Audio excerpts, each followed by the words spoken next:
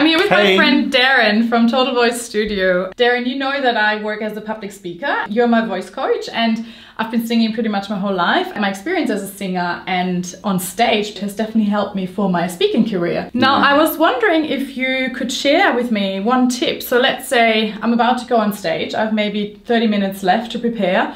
Or maybe I'm about to go into a meeting to give this one important presentation. What could be one simple exercise to help me warm up my voice and get ready for this big speech? It's a really great question. Taking control of your voice before a meeting can greatly improve your confidence, can help you sound good and project a greater sense of authority. And one of the biggest mistakes I notice people do is they don't warm up their voice. And I think this is crazy. We wouldn't go out and play sport or do any hard physical activity before warming up our body and our voice is the same. We should warm it up. Now people think that warming up is difficult and that you need to have a whole lot of special knowledge. You don't. Here is something that you probably have in your workplace. Mm-hmm. This is just a simple paper coffee cup and we are going to do three things to warm up your voice very quickly. It might be crazy, but there's a lot of science behind using objects like this to warm up your voice.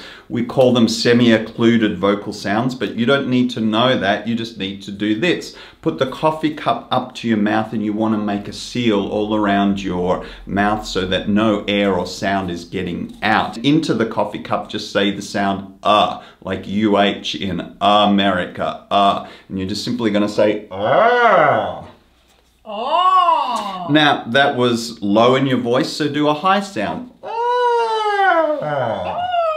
Then you want to go from low to high. Ah. And then high to low.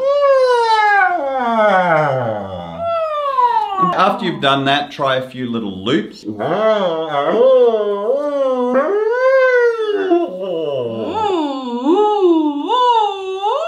And then some loops down.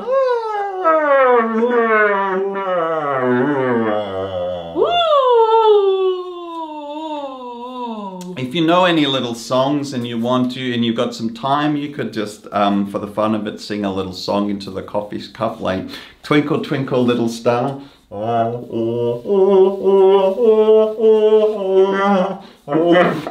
My, my son would love that. Your goal should be to spend about three to five minutes just doing continuous sounds up and down and all around your voice using the coffee cup and no time sing loud or force your voice. And at the end of five minutes, you'll find that your voice is in a higher place and it feels more comfortable to speak. So try that and see how you go. Thank you so much for sharing that. You're and it's definitely also a bit of fun. So give it a go. I'm going to try this for the next time and uh, talk to you guys soon. See you. bye. oh man, damn it.